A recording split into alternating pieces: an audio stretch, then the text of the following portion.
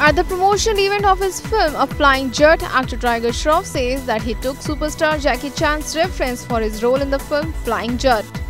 Uh, you're bang on actually. Um, for this film, Jackie Chan was one of my references. You know, because he uses comedy so effortlessly with action. Uh, I think ये एक a different की super hero He is is is a super hero with a twist basically you he's he is बहुत ही normal सा लड़का है he He has to do normal chores. You know. Uh, when he's out saving the world, suddenly he'll get a phone call from from his mother and uh, Bring his- Loki home. Yeah, bring Loki home.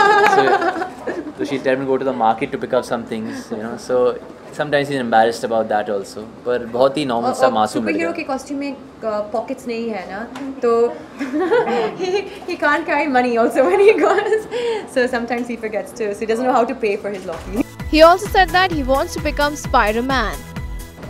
बचपन से मैं Spiderman का fan था fan था sir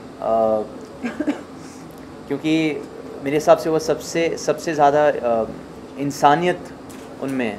Is very human is very model तो उनको चोट भी लगती है। उनको uh, उनकी जो हकीकत सिचुएशंस है बहुत पोअर बैकग्राउंड है उनका।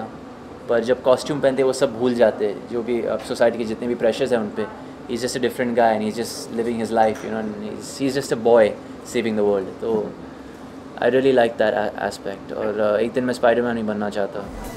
A Flying Jatt is one of the most awaited films of this year.